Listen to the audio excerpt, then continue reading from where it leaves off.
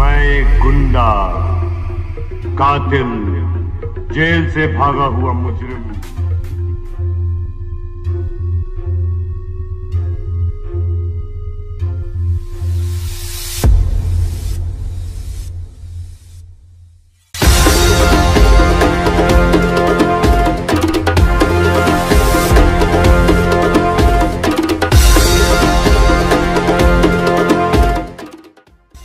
नमस्कार दोस्तों, एक बार फिर से आप सभी का स्वागत है बॉलीग्राफ स्टूडियोज में और मैं हूँ आपके साथ अनुष्का त्यागी। दोस्तों, मैं वापस आ गई हूँ एक और नई कहानी के साथ में तो मेक श्योर आप इस वीडियो को अंत तक ज़रूर देखें।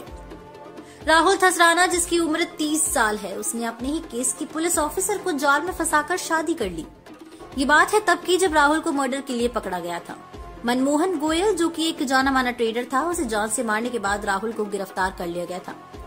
2014 में राहुल को पुलिस उठा के ले गई थी। राहुल ने सबसे पहले चोरी शुरू की थी, जिसके बाद उसका हाथ फैलता गया। उससे सूरजपुर के कोर्ट में हाजिरी देनी पड़ी थी, मनमोहन के मर्डर के बाद, जहाँ पर उसकी मुलाकात पायल से हुई। पायल वहीं की एक पुलिस ऑफिसर थी, जो कि कुछ सालों से यहाँ काम कर रही थी।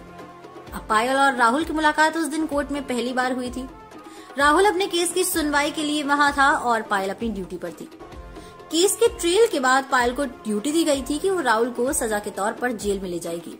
अब पायल थी तो ड्यूटी पर, लेकिन कब राहुल ने उसे अपने चाम से फंसाना शुरू कर दिया, इसका पता पायल को चला ही नहीं। जेल में पायल और राहुल की बातें होती थी, और राहुल अपने बिंदास और मनमौजी बातों से पायल को पसंद आने लगा था। वैसे तो पायल को स्ट्रिक्ट इंस्ट्रक्शन थे कि वो किसी भी, कैसे भी इंसान के साथ में कोई निजी बात नहीं करेगी, मगर राहुल के अंदाज ने उन्हें गुमराह कर दिया था।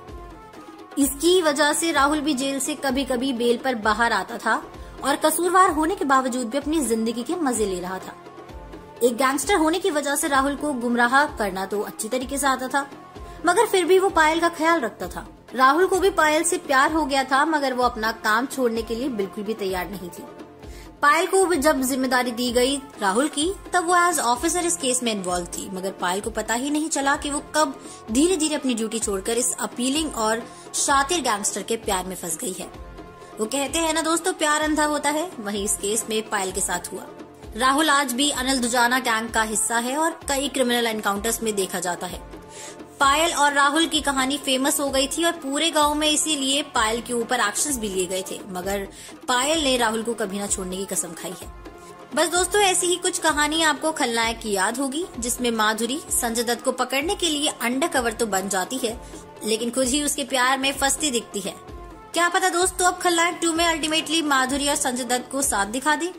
तब तक आप लोग बने रहिए और देखते रहिए बॉलीग्राफ स्टूडियोज को। हम फिर हाजिर होंगे एक नई वीडियो के साथ में। हमारी आज की राइटर है प्रतिभा।